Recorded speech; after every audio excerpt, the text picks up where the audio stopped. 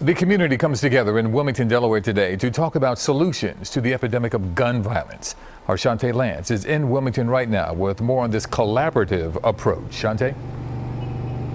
Okay, the group is called the Wilmington Community Advisory Council. It's comprised of about 30 groups, and tonight organizers say they're making significant progress in bringing down the number of shootings. It's really sad. That's how some Wilmington, Delaware residents feel about gun violence across the city. A shooting near West 6th and North Jefferson Streets in Wilmington, Delaware sent a 28 year old man to the hospital.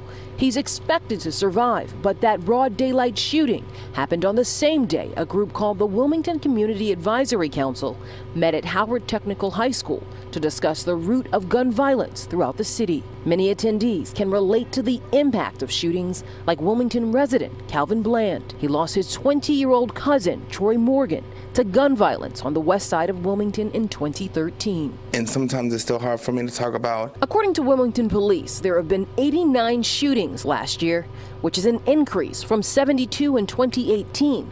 That's still a 46% drop compared to 165 shootings in 2017. I believe that the um, Wilmington Community Advisory Council has helped significantly. Henry Smith III is the council's chair. He says the group started in 2016 after Wilmington officials invited the Centers for Disease Control and Prevention to examine crime in the city as a public health issue. After a few years of studying, the CDC recommended starting the council.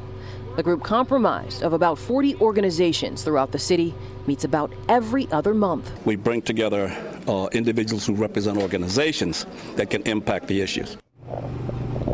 Wilmington City Council President Hanifa Shabazz, who helped start the council, released a statement reading in part, What I am most proud of is that through the work of the WCAC, we are identifying the root causes of crime, fostering partnerships, building capacity for strong community engagement, and promoting resiliency. Now, police numbers show that there have been 23 homicides in this city last year compared to 35 in 2017.